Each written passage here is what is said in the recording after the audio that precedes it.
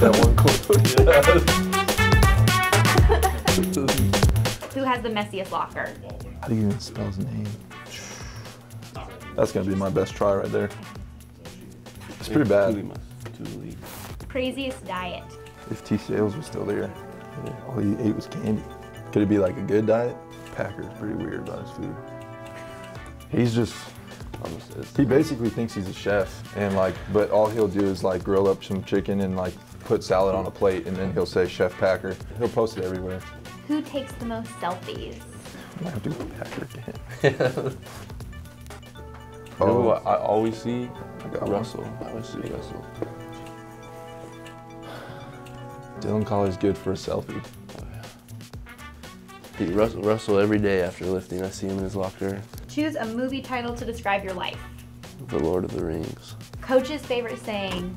I got Coach Chow's right here. Oh yeah. He'll be like, quit smoking and joking back there. Worst nickname you've ever been given? Meat from Bull Durham. I, one of my coaches in high school called me that and I hated it. Oh no. Dang, man.